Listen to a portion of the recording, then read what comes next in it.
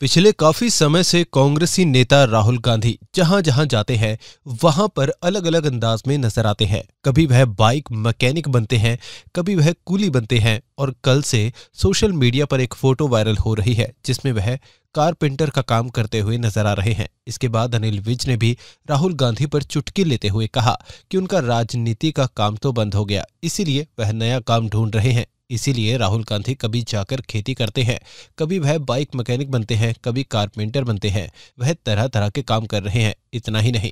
अनिल विज ने कहा कि अम्बाला या हरियाणा और हिंदुस्तान के लोगों से अपील करता हूँ कि उनके पास कोई जगह हो तो राहुल गांधी को रख लो।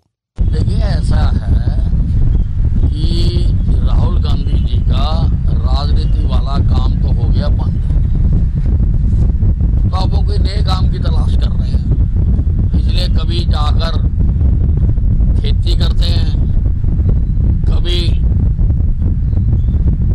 ट्रैक्टर चलाते हैं कभी कारपेंटर बन जाते हैं तरह तरह के काम वो जाकर देख रहे हैं। मैं तो अम्बाला हरियाणा, हिंदुस्तान के सभी लोगों से कहना चाहूँगा कि अगर उनके पास, किसी के पास कोई वैकेंसी है तो इनको अपने पास रख लें केजरीवाल ने प्रधानमंत्री नरेंद्र मोदी पर सवाल खड़ा करते हुए कहा कि वह उनकी जाँच करवा रहे हैं। इसके बाद केजरीवाल अनिल विज के निशाने पर आ गए और अनिल विज ने कहा कि केजरीवाल पुराने इनकम टैक्स अधिकारी रहे हैं। वह अच्छी तरह जानते हैं कि किस तरह क्या छुपाना है। इसीलिए वह बड़ी ही होशियारी के साथ काम कर रहे हैं। लेकिन जो दूसरे अधिकारी हैं, वह भी उनके पिताजी हैं। जो जो कमी है, वह सब निकाल लेंगे और सबके सामने रख देंगे। देखिए केजरीवाल जी इनकम टैक्स से संबंधित रहे उनको पता है कि किस चीज़ को कैसे छुपाना है इसलिए बड़ी होशियारी के साथ सारे काम करते हैं लेकिन जो दूसरे अधिकारी हैं वो भी इनके पिताजी हैं वो जो जो कमी है वो ढूंढ लेंगे और लोगों के सामने रखेंगे पंजाब में कांग्रेस विधायक सुखपाल सिंह खैरा की गिरफ्तारी के बाद कांग्रेस अध्यक्ष खड़गे ने कहा कि कोई उनके साथ अन्याय करेगा तो वो सहन करने वाले नहीं है, जिसको लेकर अनिल विज ने कांग्रेस और आम आदमी पार्टी पर टिप्पणी करते हुए कहा कि यह दोनों एक ही पार्टी के कार्यक्रमों में एक दूसरे के गलबहियाँ पाते हुए दिखाई देते हैं। विज ने कहा कि इनका आपस में अपना ही हिसाब किताब है, जो वह निपटने में लगे हुए हैं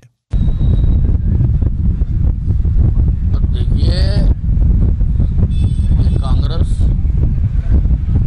और आप पार्टी ये एक ही है और आपने देखा कि इंडी पार्टी के कार्यक्रमों में ये एक दूसरे के साथ गल पाती है इनके अपने ही कोई वारे रहे हैं आपस में। जिसका ये हिसाब किताब कर रहे हैं। इनका अपना ही कोई हिसाब किताब है। उसको ये निपटाने में लगे हुए हैं अंबाला के खिलाड़ी ने एशियाई गेम में गोल्ड मेडल जीता है, जिसको लेकर अनिल विज ने कहा कि आज ऐतिहासिक दिन है। अंबाला के एक युवक ने पहला गोल्ड मेडल जीता है और आज अंबाला वासियों का सर गर्व से ऊँचा हो गया है। उन्होंने खिलाड़ी को शुभकामनाएँ दी। आज बहुत ऐतिहासिक दिन है।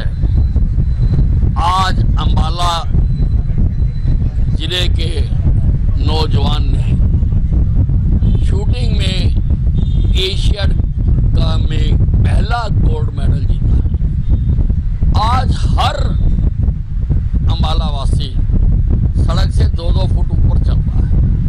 हर अंबाला वासी का सीना चौड़ा हो गया है। हर अंबाला वासी का सर गर्व से ऊँचा हो गया है। मैं बतौर रिप्रेजेंटेटिव यहाँ से, सभी लोगों की तरफ़ से मैं उन महान खिलाड़ी को शुभकामनाएँ देता हूँ। अपने आसपास से जुड़े ऐसे ही अपडेट्स पाने के लिए देखते रहे अम्बाला ब्रेकिंग न्यूज़ हमें फेसबुक पर लाइक करें यूट्यूब पर सब्सक्राइब करें और अपने एप्पल और एंड्रॉयड मोबाइल फ़ोन के प्ले स्टोर से हमारी app Ambala breaking news download करें।